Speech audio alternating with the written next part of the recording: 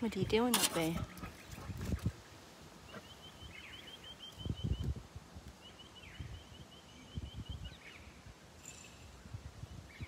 Um, okay. Shit.